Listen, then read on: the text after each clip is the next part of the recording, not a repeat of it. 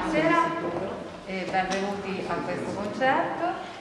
Eh, un concerto che vede protagonista Riccardo, che noi tutti conosciamo, e al quale vogliamo molto bene.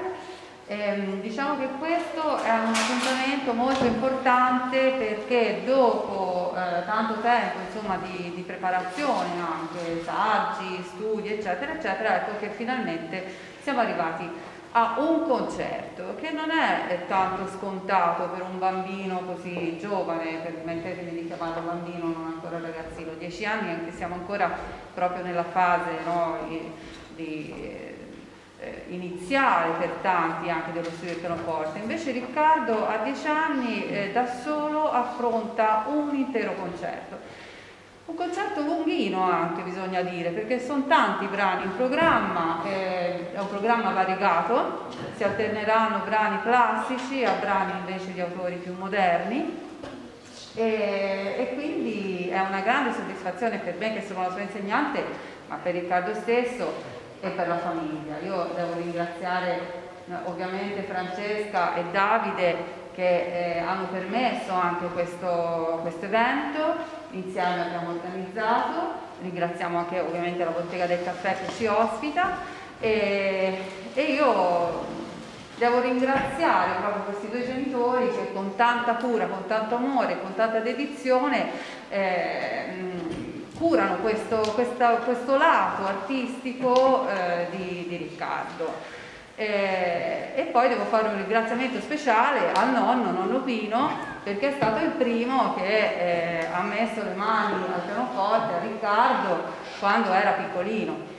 Io Riccardo l'ho conosciuto, aveva sette anni, quindi ormai sono tre anni che, che studia con me, e, però se non c'era l'input del nonno probabilmente non non si, non si scopriva questa, diciamo, questa dote. Cioè, eh? allora, io mi ricordo sempre quando Francesca mi ha chiamato la prima sì, volta, la prima volta cioè, eh, ho chiamato la prima volta, poi la seconda, la seconda poi la terza, quinta, alla fine, sì, alla fine stalker, mi ha, alla fine ha ceduto, sì. mi ha detto va bene, vediamo, vediamo di trovare un momento per poterci incontrare. Ehm, Ed è stato io, un incontro fortunato io lo sapevo, questo è il motivo per cui ho continuato a chiamare e a cercare di avere un incontro.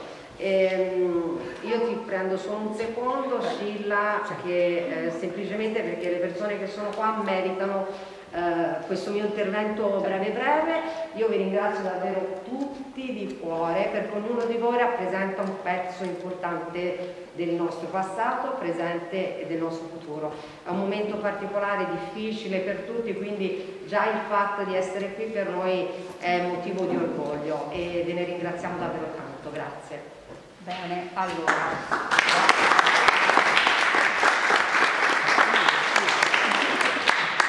Prima di iniziare il nostro concerto io vi prego di mettere silenziato il vostro cellulare eh, in modo che Riccardo possa effettivamente concentrarsi e, e, e fare diciamo, di fila tutto il concerto.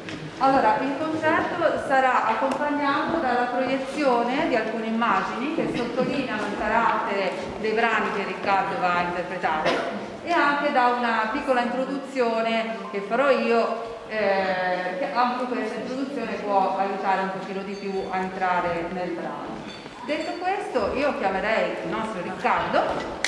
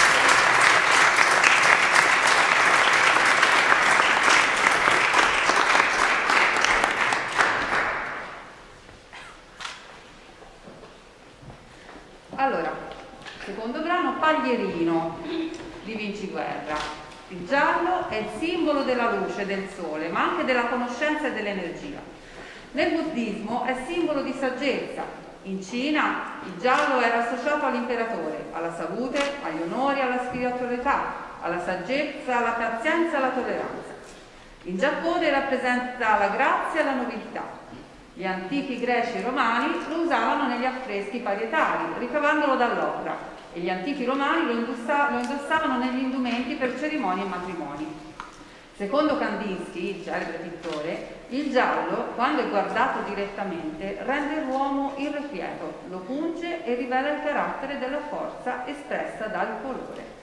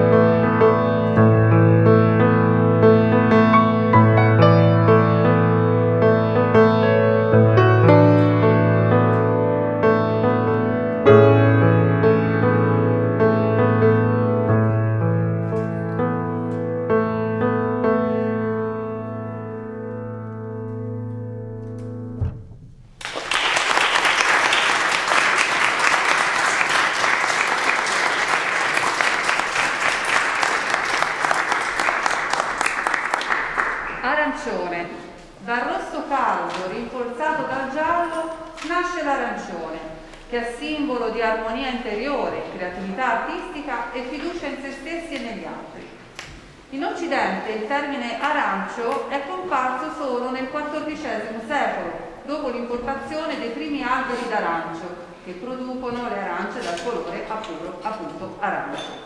Prima della scoperta delle arance questo colore veniva definito con il termine rosso.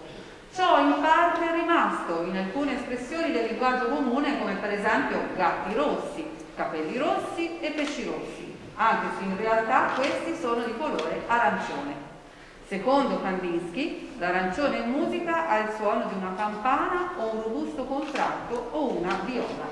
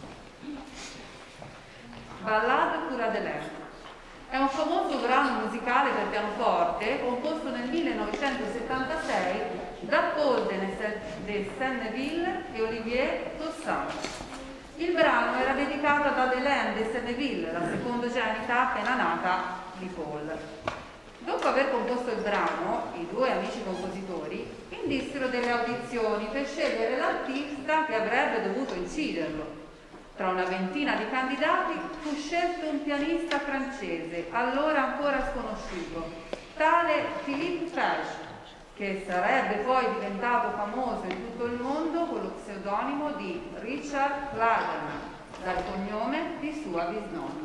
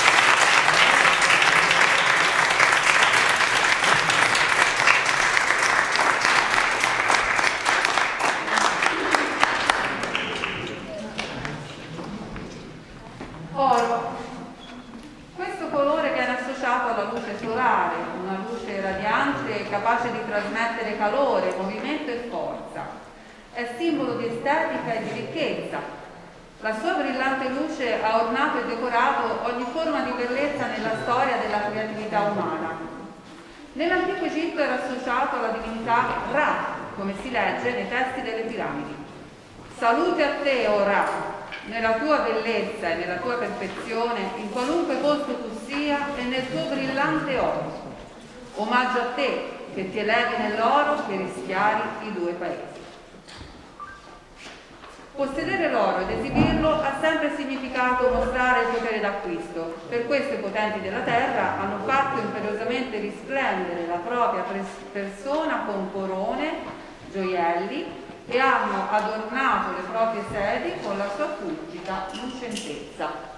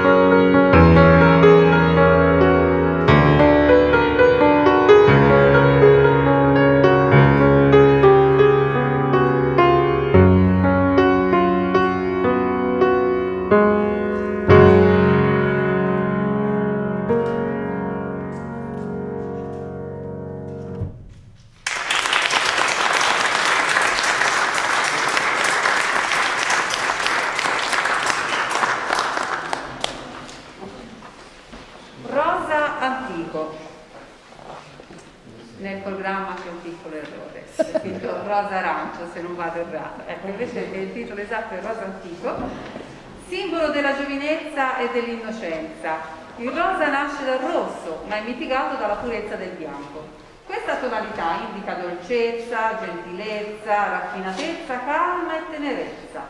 Il colore rosa è identificato da sempre come segno di ottimismo e di spensieratezza, oltre ad essere la tinta che simboleggia la giovinezza e la bellezza femminile.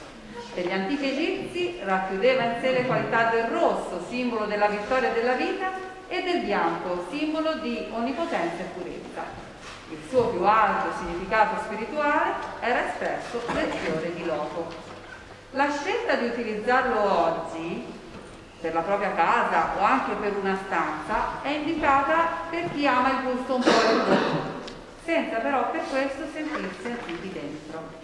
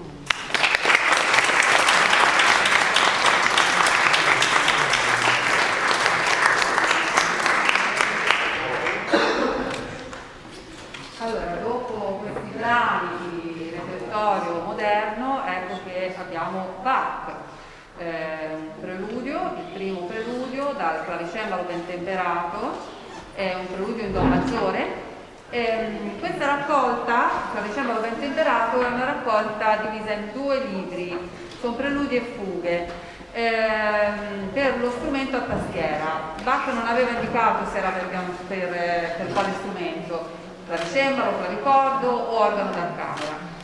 Sono preludi e fughe in tutte le 12 tonalità, nei modi maggiori e minori.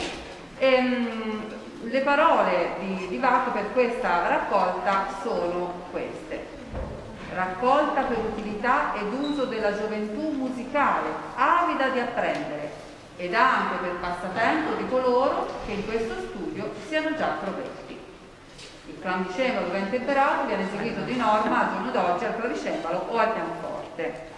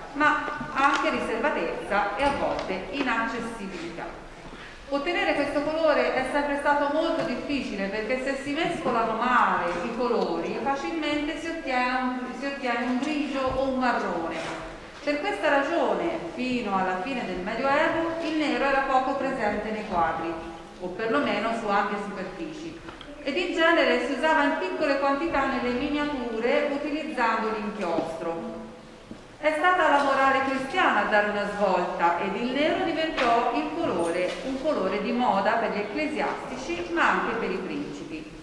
Fino al XVII secolo soltanto i ricchi potevano permettersi il nero perché era molto costoso. Secondo Kandinsky, il nero è espresso musicalmente come una pausa che chiude definitivamente e dopo la quale una continuazione è come l'inizio di un nuovo mondo.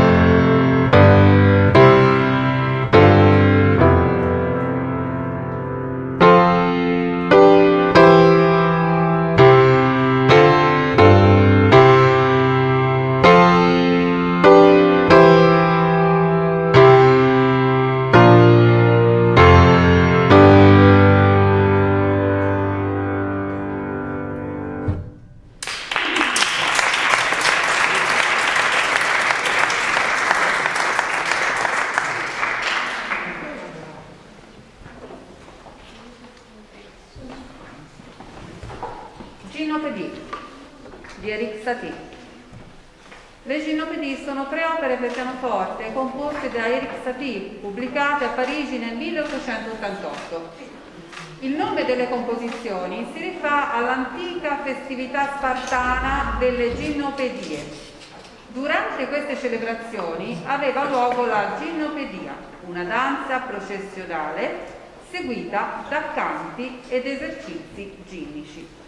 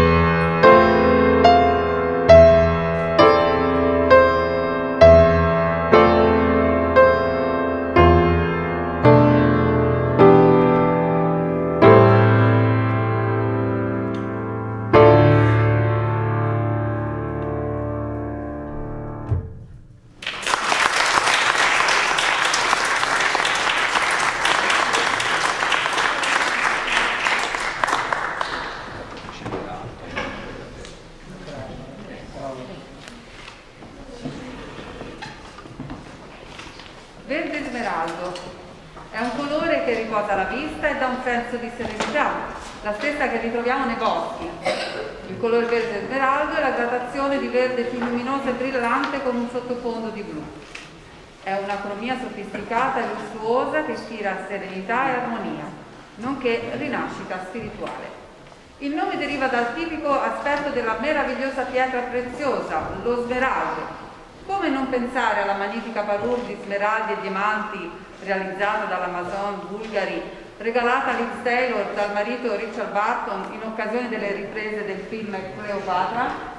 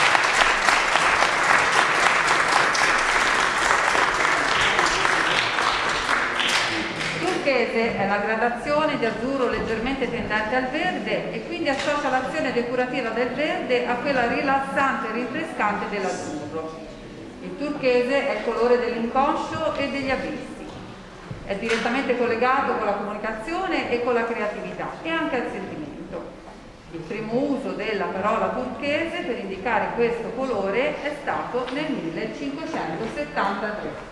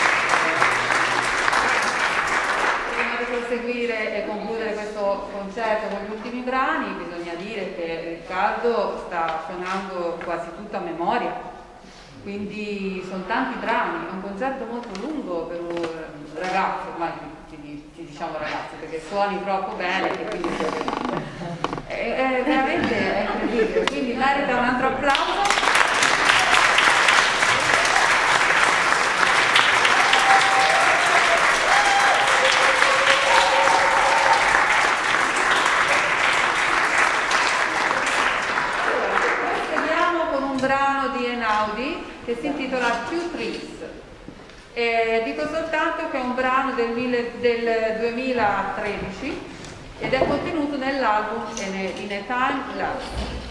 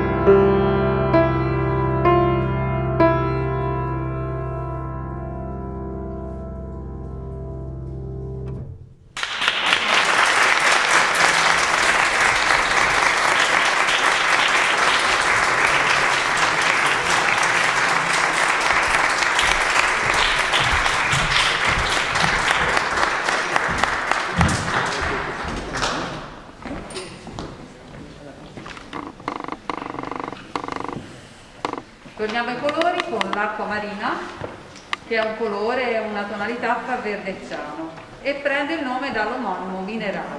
Proprio come l'acqua del mare, il colore dell'acqua marina va dall'azzurro chiaro al blu scuro, dal verde blu al blu verde. I marinai la portavano con sé come amuleto.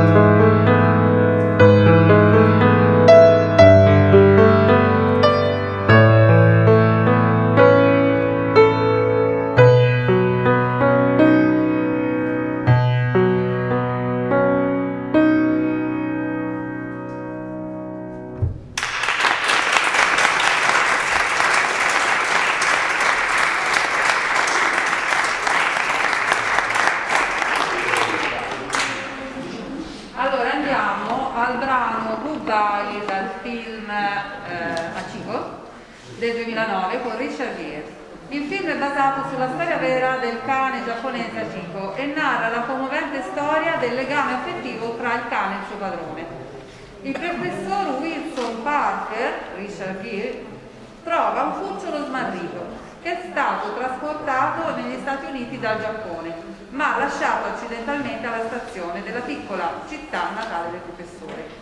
Nell'attesa di trovare il legittimo proprietario, il professore decide di portare a casa il cucciolo Ah a non sembra un cane normale, non ama giocare con la palla, non ama rincorrere i gatti, ma in compenso dimostra nei confronti del padrone un affetto fuori dal comune.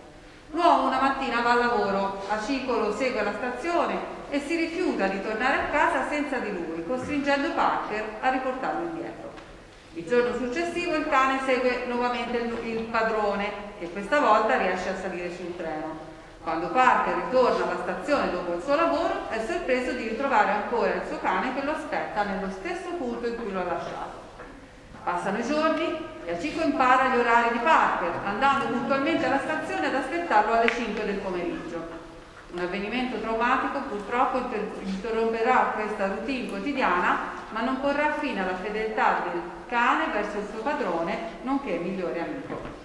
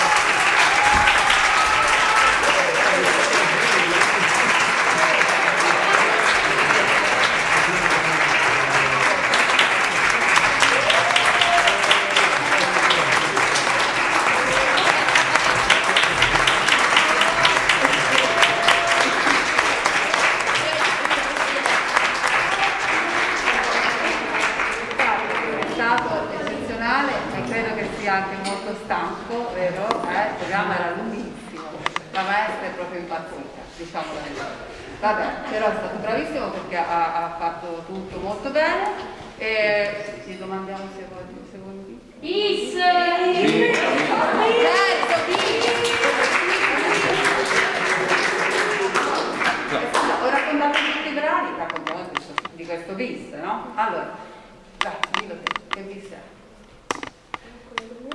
Allora, è quello del suo nonno, nonno Pino, eh, che ha composto questo brano, come si intitola? Un sogno ricordo. Un sogno ricordo. Allora noi omaggiamo il nonno eh, con questo bis. Sei pronto? Vai.